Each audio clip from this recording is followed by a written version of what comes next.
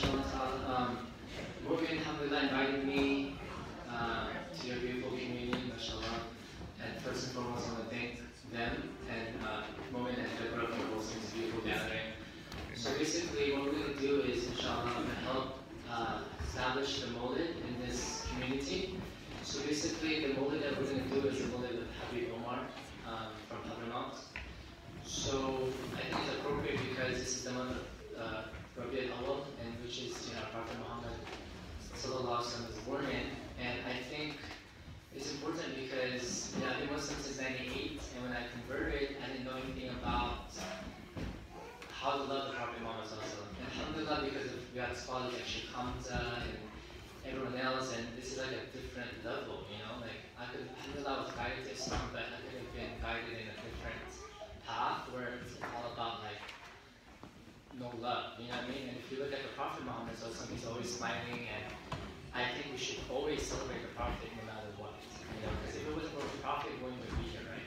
So I think for me, alhamdulillah, there's, there's a lot of barakah in that, especially for kids and children, mashallah, like, we need to know who the Prophet is, because that's going to be our foundation for everything. So I think with this, you know, we're just going to do a mawlid, inshallah, so um, if you guys printed them out, I think Mu'min, you sent something, right? Um, and Deborah. So if you guys have it, what we can do is you could follow along, and then there's some, you know, recite some lines, and then we say Sallallahu Alaihi, and then, um, and you guys could follow, and then in between, inshallah, we'll do some nasheeds, and then also we're waiting for our, our Sheikh, right? Sheikh. Sheikh Khalil, so inshallah when he's here, um, we're going to try to say that there's a part where you stand up to commemorate the Prophet Muhammad, and so inshallah we're going to try to say that when he's here so he could be, you know, that. And then normally how we do it is that in the Bay Area, we do the Mawlid, we read the Habib Omar's Mawlid, and then we do Nasheed in between, and then we do the standing part, and then after the standing part, you know, we sit down and then someone gives uh, advice. So inshallah we good when Sheikh Khalid here. And then after that we do more nasheeds. And then inshallah ta'ala there's a dua at the end. So inshallah that's basically the 13. You know. Alhamdulillah when Habib Omar came to uh, um, this is his book in Arabic. And I was able to have him write on it actually to give permission to do it. But you know, of course, um, there's a in you know, so I mean, anytime you praise the Prophet Sallallahu you know, we're just basically doing what Allah has commanded us, right? In the Allah wa malaikatu yusallu ala nabi ya ayyuhalladhina amanu sallu alayhi wa sallimu taslima. So for every one, you know, salawat on the Prophet Sallallahu Allah gives us ten. So if anything, this is what we uh, need to do, inshallah, to do that. But, um, again, thank you so much, and inshallah, we'll start. Do you guys have the books or? We have a book at Talib that I actually borrowed. so this is what they have at Talib. Um, they have a book with Habib Omar. They have uh, the Burda. They have a selection of like the Muhammadiyya and also some like assorted nasheed. So maybe if you guys can get this eventually, I don't know how, but um, we'll let me know. So we'll read from here, inshallah. And if you guys have the copy, we'll do that. أعوذ بالله من الشيطان الرجيم. بسم الله الرحمن الرحيم. أعوذ بالله من الشيطان الرجيم بسم الله الرحمن الرحيم صل على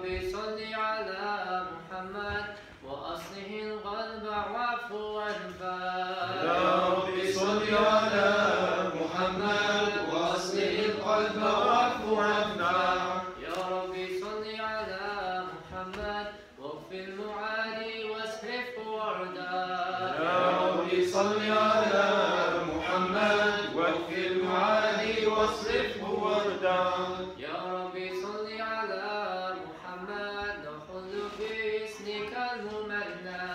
يا ربي صل على محمد نحل في اسمك الممنى يا ربي صل على محمد رب ارضى عنا رضاك الارفع يا ربي صل على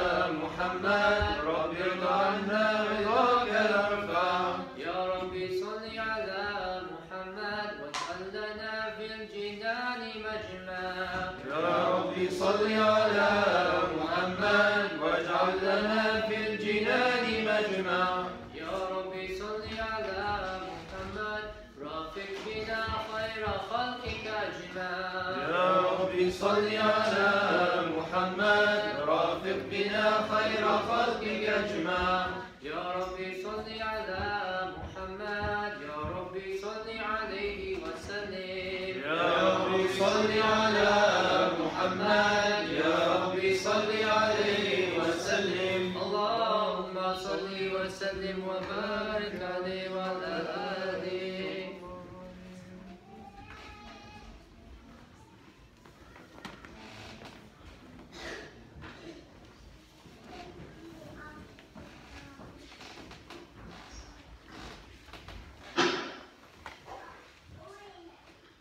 أعوذ بالله من الشيطان الرجيم.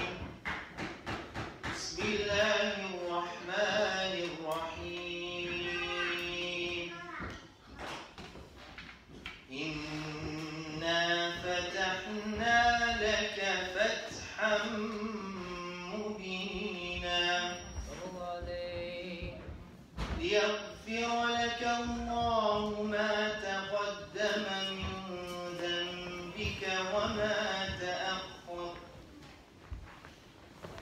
وما تأخر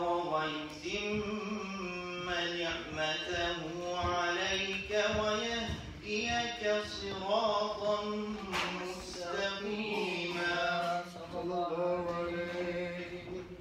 وينصرك الله نصرا عزيزا. بسم الله الرحمن الرحيم. لقد جاءكم رسول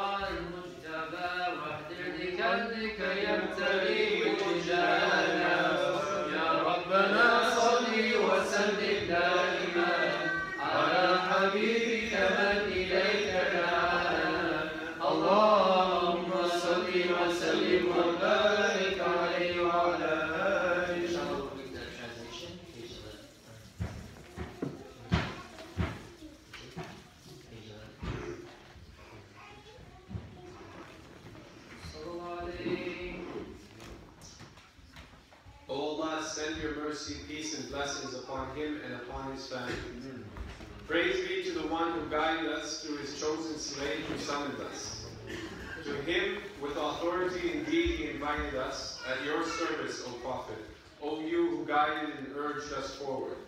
Allah, your Creator, has sent his mercy upon you. Indeed, we have been distinguished and favored through you, O possessor of intercession. And mercy upon your family. They are the treasure trove of your highest secret, for they are the ships of salvation. They are our sanctuary.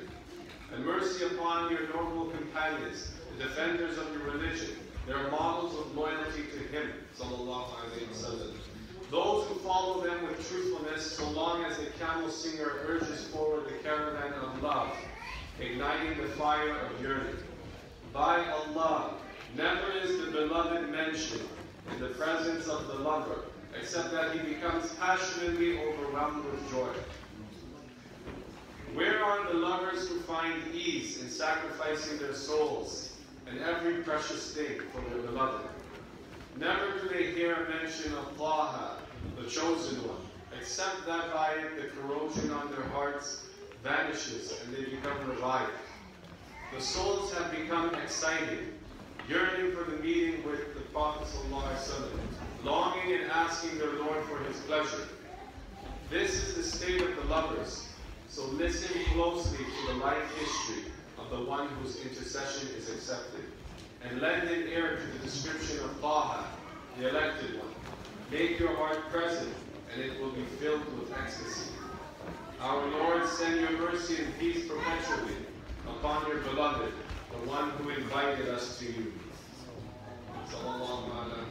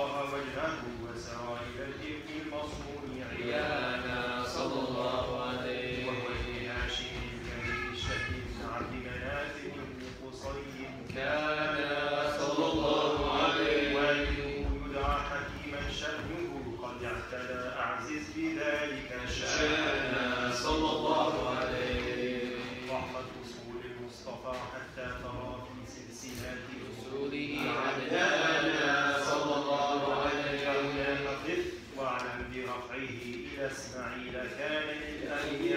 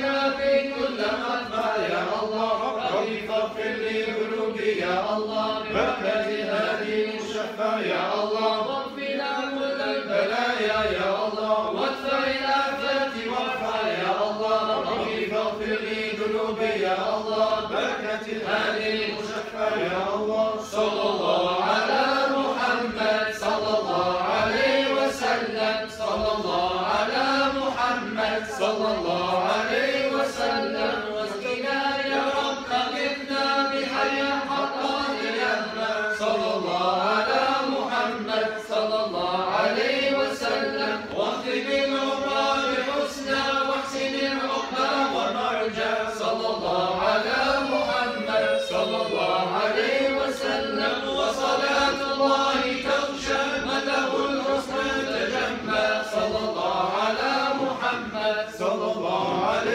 وسلم أحمد النورى وآله وصحابة السلاشة صلى الله على محمد صلى الله عليه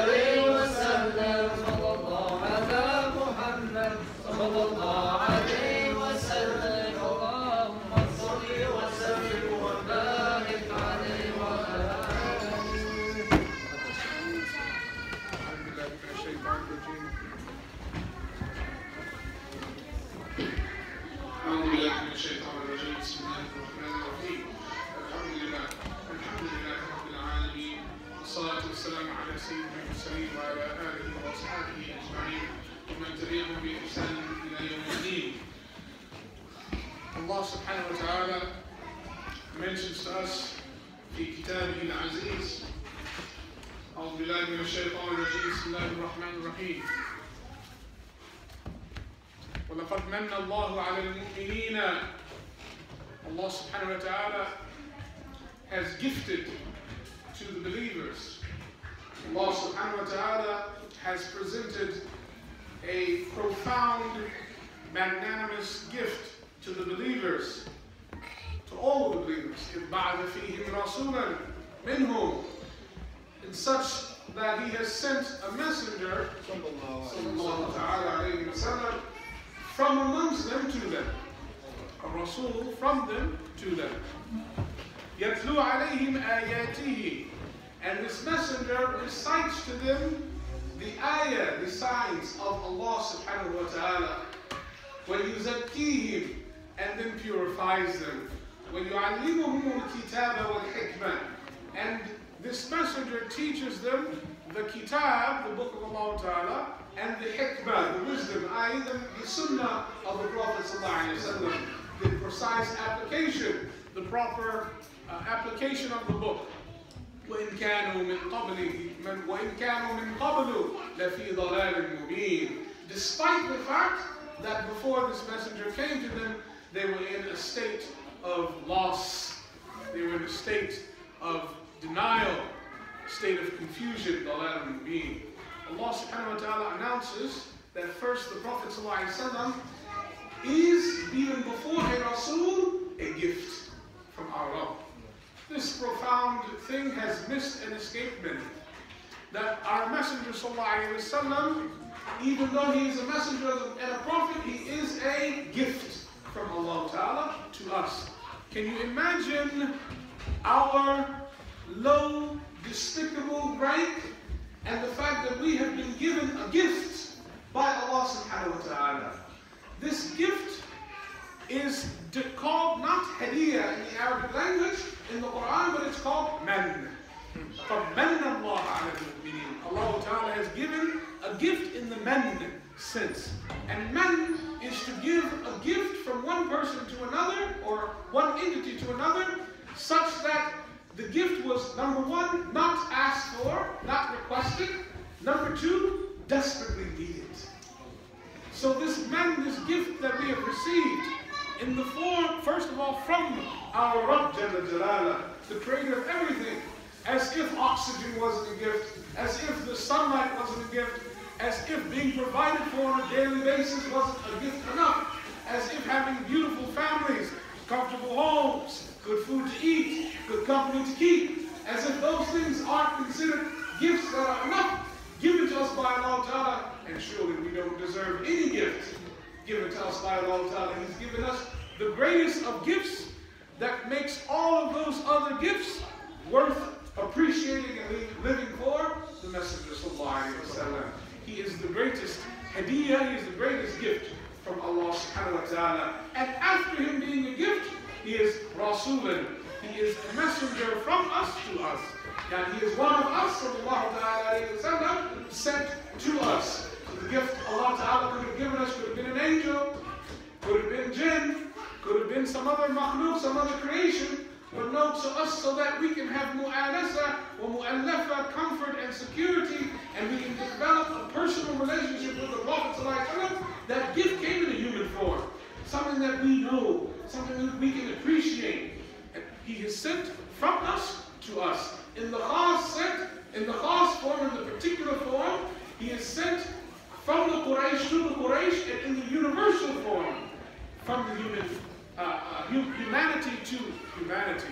So the first thing is that he is a gift of Allah Ta'ala, and so it is the responsibility of each and every mu'min. And the Prophet ﷺ also said, when he was asked the question, who is your family? Man ala Nabi Sallallahu or man wa fi riwayatin, man ala Muhammad, who is the family of Muhammad He said Sallallahu kullu mu'min taqi every mu'min that has taqwa of Allah Ta'ala. So he included us by giving us another gift from him that we are part of his family. Sallallahu Ta'ala So this gift has now kept on giving. And as is required for a gift, we must honor that gift. We must respect that gift. And in the spirit of the uh, uh, the wives of the Prophet and the Sahabas, we must share that gift. We must share that gift with others so that we don't hoard that gift. We don't become selfish and that by that route we become arrogant. But no, we must share that gift because Allah subhanahu wa ta'ala mentions that the Prophet, this gift of Allah is rahmatan lil alameen. It's actually a gift to the believers, yes, but it is meant to be shared as a mercy to everyone one of the secret, one of the asrar, one of the secrets that many people miss in remembering the Prophet and let us recall that we are in the month of Rabi al-Awwal, the month that holds the birth of the Prophet Allahumma salli wa sallam wa barik alayhi, that he was born on the 12th of Rabi al-Awwal, and one of the most beautiful gems about uh, uh, this day is that it was not only a day of his birth, sallallahu but it was also, unbeknownst to many, the day that he entered not only the world, but that he entered Medina. Most people don't know that. He entered Medina and the Hijri, uh, after his Hijrah with Abu Bakr as-Siddiq and the day that he entered Medina was the 12th of Rabi al the day he was born. And one of the hidden gems that's there is that the celebration of the believers and the Sahabas Ansar and the Muhammad that were there in Medina, was not just a celebration for the entry of the Prophet into Medina. That was the universal, general, umumi celebration. But there's a, a khas and khususi celebration that was there as well. It was a celebration of the entry of the Prophet into this dunya. To purify it, to cleanse it, to be a rahmah for it. That way many people don't understand the remembrance of the Prophet ﷺ, the, the celebration of the Prophet ﷺ, what they miss is that the Prophet ﷺ condoned it himself by being a part of that celebration in Medina when he entered Medina. There were those that understood it in the general sense, but there were those that understood it in the khas particular sense. This is one of the most greatest blessings that we have. And as we demonstrated in our majlis to remember the Prophet ﷺ, we did our best to honor that blessing that was given to us, to honor that gift that was given to us. And what is the greatest way that the entire body can perform an honorable act? The greatest way that the entire wuju, the entire body, can perform an honorable act is to stand in reverence for the thing that you honor. Right. And so the Prophet ﷺ early on in the in the in the seerah did not like for the Sahabas uh, uh, to stand for him early on.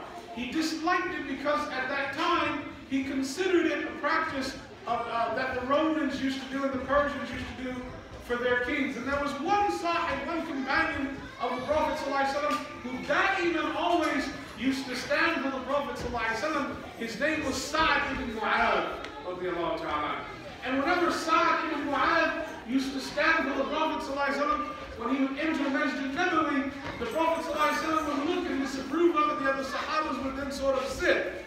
And then one day, Sa'd ibn Mu'adh makes the firm desire to stand for the Prophet The Prophet if you can imagine this, he enters Masjid Nabawi. and there are many Sahabas that are in Masjid Nabawi, and Sa'd ibn Mu'adh catches him as he walks in, and he stands for the Prophet ﷺ. And the Prophet ﷺ did what he normally did was to give a certain look because it was his khuluq, and it's narrated in the Sunan of Imam Tirmidhi that whenever he ﷺ did not like something, he would not speak about it, but instead he would turn away from it and he gave a look to Sa'd as if to turn. But then Sa'd ibn Mu'adh uttered a statement that would forever transform this ummah. And he uttered of the most beautiful uh, four lines of poetry that would transform not only the ummah but the Prophet ﷺ respective of people standing for him. And Sa'd ibn Mu'adh, he said, قِيَامِي لِعَزِيزٍ عَلَيَّ فَرْض Standing for greatness is a duty on me, is an obligation on me. وَتَرْكُ الْفَرْض مَا هُوَ بِمُسْتَقِيمٍ And leaving an obligation is not what is upright. عَجِبْتُ لِمَنْ لَهُ عَقْلٌ وَفَهْمٌ I'm amazed and shocked at the one that has intellect and understanding. يَرَى هَذَا الْجَمَالِ وَلَمْ يَكُنْ How can they see such beauty and not stand? and in the most magnificent display of devotion and mahabbah and love, the entire community in Masjid Nabawi rose for the Prophet ﷺ. And he smiled and accepted it. And after that, whenever the Prophet entered, there was the qiyam of the Prophet in front, in the majlis, in the presence of the Prophet sallallahu ta'ala alayhi wasallam, and that standing for greatness became a mantra in this ummah from as an extension of standing for the Prophet The Prophet used to stand for the Ansar because of the greatness they stood for in their sacrifice and their helping of the Muhajir. The Prophet used to stand for the women of Medina, the Ansar women of Medina who sacrificed them as well. And he used to uh, uh, his children would stand for him, وسلم, and then later on in the Ummah, the students used to stand for their teachers, their ulama. And when Sa'd ibn Mu'adh ta'ala, later on in the, in the seerah after that event was injured and uh, in battle, and in the in incident that happened in Battle Qurayza, uh, where the Prophet ﷺ, uh, uh, gathered uh, the enemies that had betrayed him, and he wanted to judge them, and he instead asked them for a judge. He said, "Who will judge you for your betrayal?" And, the, and they said, "One from among, who used to be amongst us." And they said, "Bring Sa'd, because he used to be amongst us. Let him judge us." And Sa'd was in the in the infirmary recovering from his wounds, but he had a mortal wound. And the Prophet sent for Sa'd. Said, Ya Sa'd, your old tribe calls you to judge. And they brought Sa'd in, ta'ala, on crutches and on arms because he was dying for his wound and the Prophet, from his wounds. And the Prophet ﷺ looked at him and he looked at the people that they were going to be judged by Banu Qurayza, and he said to the people of the Prophet ﷺ, he said, Hum li sayyidikum, stand for your master, stand for your leader. And Sa'd gave the judgment, and the Prophet ﷺ carried it out. And a few days after that, Sa'd ibn Mu'adh passed away, he died.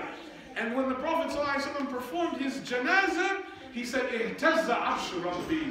The throne of my Lord shook for this person. Takbir. Allahu Akbar.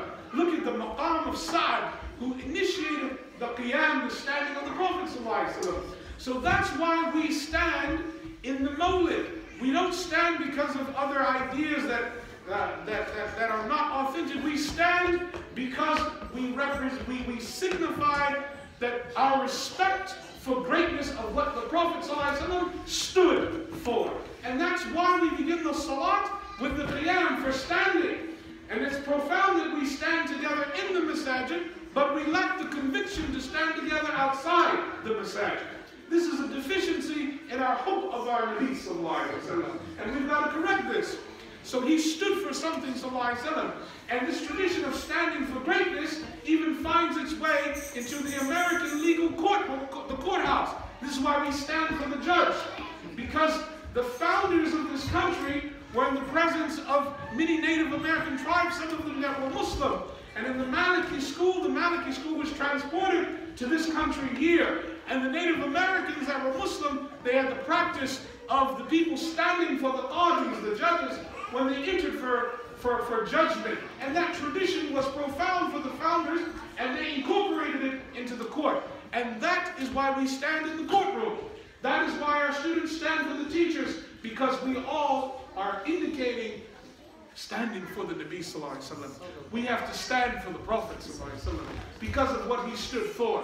And if we cannot stand for the gift of our Lord to us, then we fall for everything. Mm. And we must not be people who fall. We must not be people who sit down. And Muhammad Ali used to say, you people sit down too much. I taught my dog to sit. We are not people of sitting. We are people who rise. We are people who learn. We are people who guide. We are people who stand. And so Qiyam is a righteous position. It's a righteous uh, element. We are the only creatures of Allah Ta'ala who stand.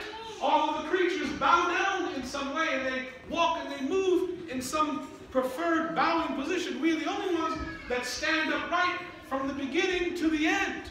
And that is the dalal of what we should stand for. This is the gift of Allah Ta'ala.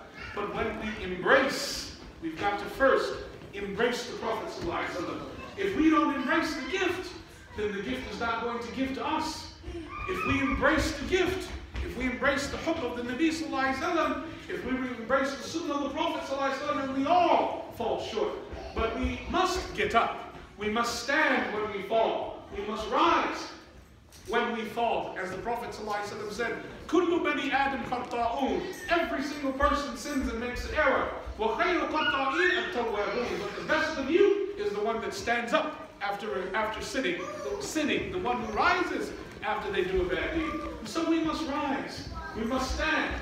We must stand for the Prophet Learn about the Prophet Practice more of his sunnah and embrace him not only in the sense of having books about him, but in living the legacy of his sunnah in our heart.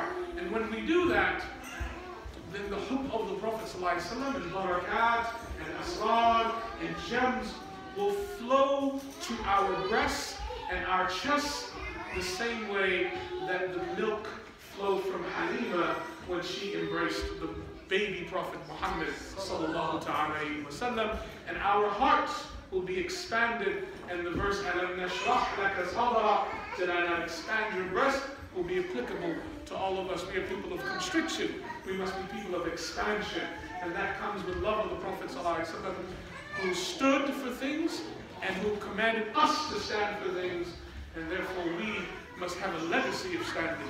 Now, brothers and sisters, may Allah subhanahu wa ta'ala give us in the, this blessed month of Rabi al-Awwal the courage to embrace the Prophet May he give us the courage to rise out of our slumber of neglecting the Prophet May he give us the wakefulness to be able to remember that the, the Prophet is a gift to us. And when we understand that he is a gift to us, from our Lord, then how can we cherish anything else above and beyond that gift? Nothing has value anymore. Nothing has importance anymore. Nothing is something, nothing is special anymore.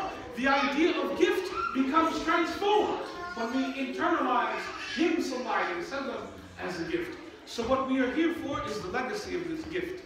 May Allah subhanahu wa ta'ala bless us with hubb al-Nabi sallallahu. May Allah subhanahu wa ta'ala bless us with true, not metaphorical, majazi, artificial, abstract, true ittiba and following of the Nabi sallallahu alaihi wasallam. May Allah subhanahu wa ta'ala reunite us and reunite us through that hope of the Nabi sallallahu alaihi wasallam. And may Allah subhanahu wa ta'ala allow us to stand in this life for him so that we may stand together with him under the banner of Hamd with the Prophet sallallahu alaihi wasallam. وآخر دعوانا أن الحمد لله رب العالمين أقول قولي هذا واستغفر الله لي ولسائر المسلمين من كل ذنب فاستغفروه إنه هو الغفور الرحيم. تكبير تكبير تكبير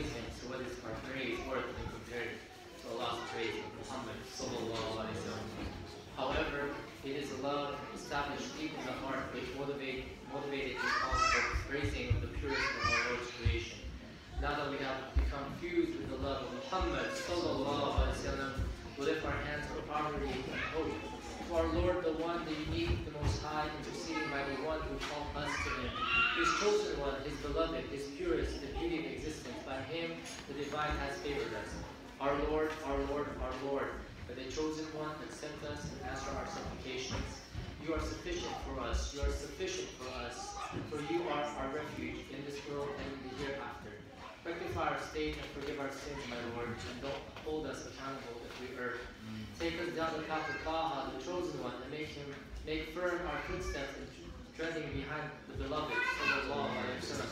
For your grace show us the emergence of Ahmed with all of his splendor, as the eye of your satisfaction watches over us. Strengthen our bond with him sallallahu alayhi wasallam in every state and strengthen the bond of those who love and support us, and those who do goodness and those who answer our call, and those who have rights over us, and those who ask us to pray for them than those who are present at the gathering and those who assist establishing gatherings. Here we are, here we are between your hands, O Allah, for truly you see us. Indeed, we have invoked you, so by your grace answer our requests, O you who hear our prayers. And use us in giving victory to the Sunnah of Taha throughout the earth and restrain every adversary to us. And grant upon us and give us to drink from the cup of felicity and quickly cure all our sick and take care of our affairs and beautify our last moments at the time of death and rectify our end affair. Our, O Lord, gather us and the beloved ones in your abode of Firdaus, the highest place in paradise, where we have hope in you. To gather us with the chosen one and send your mercy upon him and upon his family, so long as the eastern winds sway branches. Glorified be thy Lord, the Lord of majesty, from that which they attribute unto him. And peace be unto the messengers, and praise be to God, Lord of the world. ربنا تقبل منا انك انت السميع العليم وتب علينا يا مولانا انك انت التواب الرحيم ربنا هب لنا من ازواجنا وذرياتنا قرة اعين واجعلنا للمتقين اماما ربنا اتنا في الدنيا حسنه وفي الاخره حسنه وقنا عذاب النار سبحان ربك رب العزة عما يصفون وسلام على المرسلين والحمد لله رب العالمين. الفاتحة.